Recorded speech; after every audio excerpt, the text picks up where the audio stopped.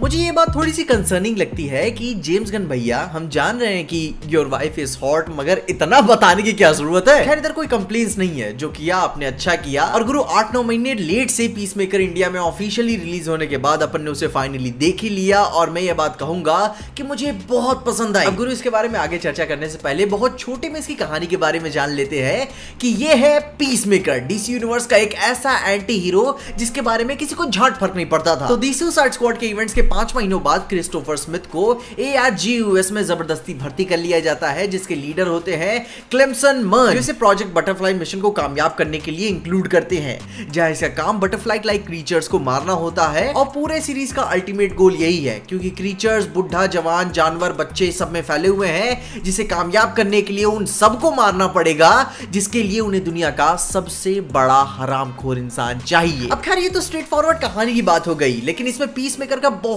ही भारी character development है। उसकी tragic origin sex life believe friends compassion affection past का ट्रॉमा सब कुछ इंक्लूडेड है। जो कि अब उसे अपने अतीत के साथ समझौता करना है जिसे रीएडजस्ट करने में उसे बहुत दर्द होने वाला है। इसके अलावा पीस मेकर की जो बाकी कास्ट है उनका भी प्रॉपर रोल है। मतलब कि कोई भी एरू गैरू नहीं है। हारकोट विजिलेंटी एडिबायो मर्न इकोनॉमस इसका बाप यहाँ तक कि ये ईगल तक भी कहानी में वैल्यू ऐड करता है। सबका कैरेक्टर डिज़ाइन बहुत ही फेनोमिनल है। अब गुरु यहाँ पे एक बात मैं क्लियर कर देना चाहता हूँ कि स्पॉइल तो अपन कब का हो चुके थे लेकिन ये बात का फ़ायदा रहा कि जब फैंडम बड़े बड़े चीज़ों पे फोकस कर रहा था तो एक्चुअल जो सब्सटेंस वाली कहानी थी उसके बारे में अभी फाइनली अपन को पता चला और वो काफ़ी अच्छा लगा। एंड ये बात मैं फिर से कहना चाहूँगा कि गुरु James Gunn is a very good writer मुझे बहुत ही अच्छा लगा कि जब कहानी नेचुरली आगे बढ़ती है विद द सेम टाइम आपको थोड़ी बहुत बैक स्टोरी के बारे में भी जानने को मिलता है। इसकी सिनेमाटोग्राफी में एक चीज़ ये नोटिस करने वाली है कि दी सुसाइड स्क्वाड के बाद उसका पैलेट थोड़ा सा कम फैंसी किया गया है मगर थीम अभी भी वही बरकरार है। बहुत सिंपल होने के बावजूद भी ये कोई बोरिंग नहीं लगता। स्टिल कुछ ना कुछ तुमको इट्स, बिट्स और टिट्स देखने को मिल जाते हैं जो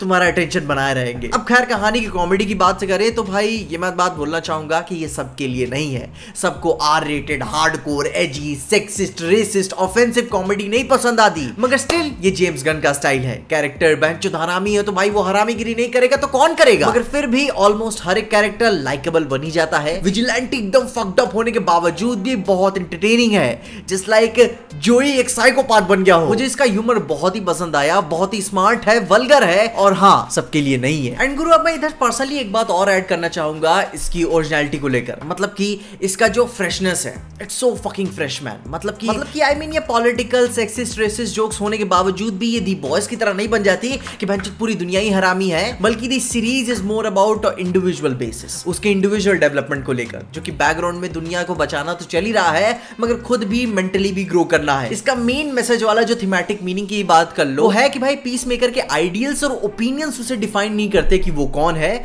बल्कि उसके एक्शंस और एक्सपीरियंस उसकी ज़िंदगी को आकार देते हैं। जो कि ठीक उसी तरह हमारे एक्शंस भी फाइनली हमें डिफाइन करते हैं कि एज पीपल हम कैसे हैं। वो यह कॉन्सेप्ट दो एक्सट्रीम्स के बीच में जाता है including that message of unity वाला लेकिन ओवरऑल बहुत ही रिफ्रेशिंग है। क्योंकि जब आप मार्वल की छत्र छाया से ऐसे बाहर निकलते हो ना तो तुमको फील होता है कि भाई अच्छी कहानियाँ एक्चुअली में एग्जिस्ट करती हैं। पीस मेकर को तुम एक कोई ओवरऑल एक परफेक्ट टीवी शो की कैटेगरी में ला के रख सकते हो। मतलब कि ये होता है एक सीरीज़ को प्रेजेंट करने का तरीका। तुम कोई एक आठ घंटे की पिक्चर नहीं देख रहे हो, तुम आठ एपिसोड देख रहे हो और आठों तुम इंजॉय करते हो। विजिलेंटी चूतिया है, मगर इतना बड़ा चूतिया है कि तुमको पसंद आने लगता है। और उसके बाद इंट्रो म्यूज़िक भाई, वो तो आर्ट है। सीरीज़ अपना वॉयलेंस बहुत ही नाप जोक की यूज़ करता है जिससे वो क्वालिटी बरकरार रहती है। इसमें करके इमोशनल साइड एवे ही नहीं है। वो अपनी ईगले के साथ जब रो भी रहा होता है तो तुम्हें भी महसूस होने लगता है कि यार तेरा दिल क्यों भरने लग रहा है? And of course there are some room for improvement और इसकी ज़्यादातर क्रिटिसिज्म इसके ऑफेंसिव होने की वजह से ही आएँगी जो एज पे जाके ये खेलता है। इसका ह्यूमर सबके लिए नहीं है। This show is fucking unskippable अब अगर मैं पर्सनली निट पिकिंग करूँ तो दी सुसाइड स्क्वाड के स्टैब्लिश हुई ये सीरीज़ होने के बावजूद भी ये बहुत ही सिंपल लगती है। अगर उसी लेवल पे क्रिएटिव होती तो थोड़ा और भी अच्छा होता, लेकिन हाँ मेरी ऐसी कोई बहुत बड़ी डिमांड नहीं है। लिए फिर भी चलेगा, क्योंकि एटलीस्ट कोई सुपर हीरो तो है, जो ग्रीन स्क्रीन के बियॉन्ड भी तो एग्जिस्ट कर रहा है। राइटिंग और कैरेक्टर्स बहुत सॉलिड है, जो भाई तुम्हें सिनेमा के नाम पर बकचोदी नहीं देते,